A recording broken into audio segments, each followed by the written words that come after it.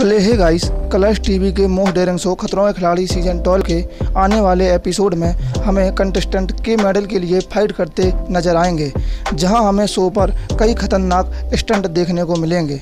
वहीं हमें हाल ही में शो से जुड़ी कुछ फ़ोटो सामने आई हैं, जिसमें दो कंटेस्टेंट एक खतरनाक स्टंट करते नज़र आ रहे हैं। दरअसल सिरती झा और तुषार कालिया एक वैक्यूम ट्रेनर वाला स्टंट करते नज़र आ रहे हैं। बैल इस स्टंट में कंटेस्टेंट को टनल के अंदर जाकर टनल में लगे कुछ फ्लैग को कलेक्ट करना होता है और टनल में पानी भरा होता है, जहाँ इस स्टंट में कई बार कंटेस्टेंट की हालत भी ख़राब हो चुकी है।